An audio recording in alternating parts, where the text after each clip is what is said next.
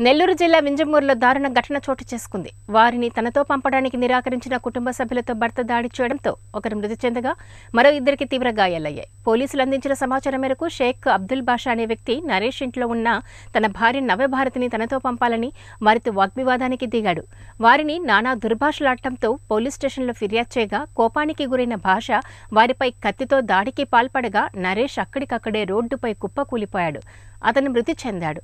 మరొకరికి కత్తి గాయాలయ్యాయి. కలిగిరి సాంబశివరావు ఎస్ఐ కుమారులు సంఘటనా స్థలానికి చేరుకొని గాయపడిన వారిని చికిత్స కోసం ఆసుపత్రికి తరలించారు. కేసు నమోదు చేసి దర్యాప్తు చేపట్టారు. నిన్న రాత్రి పన్నెండు గంటల సమయంలో ఎస్కే అబ్దుల్ బాషా అనే అతను దేవనబోయిన వెంకట నరేష్ అనే అతన్ని మర్డర్ చేయడం అనేది జరిగింది. దేవనబోయిన వెంకట నరేష్ యొక్క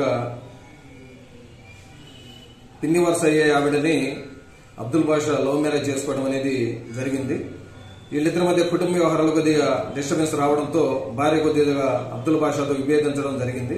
ఆ క్రమంలో వెంకట నరేష్ యొక్క కుటుంబాన్ని ప్రొటెక్షన్ అడిగింది. గత ఐదు రోజులుగా వాళ్ళ కుటుంబంతో అబ్దుల్ బాషా యొక్క వైఫ్ ఉండటంతో వాళ్ళ ఇంటి మీదకి వెళ్ళేసి వాళ్ళని క్వశ్చన్ చేసి తన భార్య పట్ల ఎందుకు సపోర్ట్ చేస్తున్నారు అనేటువంటి ఉద్దేశంతో క్వశ్చన్ చేయడం ఆ క్రమంలో వాదులాట జరిగింది. వాదులాట క్రమంలో అబ్దుల్ బాషా అప్పటికే తనతో తెచ్చుకున్నటువంటి కూరగాయలు కత్తిరించేటువంటి కత్తితో నరేష్ యొక్క గుండెల్లో కత్తితో పడవడం జరిగింది. నరేష్ స్పాట్లో చనిపోవడం జరిగింది. ఆ క్రమంలో రక్షించడానికి వచ్చినటువంటి నరేష్ యొక్క రెల్టివ్ ఒక అతను. అదేవిధంగా వాళ్ళ స్నేహితుడు ఒక అతను కూడా కత్తితో దాడి చేయడం అటెంప్ట్ మర్డర్ చేయడం అనేది జరిగింది. వీళ్ళిద్దరు కూడా నెల్లూరులో ఒక అతను ఆత్మకూరులో ఒక అతను అండర్ గోయింగ్ ట్రీట్మెంట్లో ఉన్నారు. ప్రస్తుతం వాళ్ళ పరిస్థితి బాగానే ఉంది.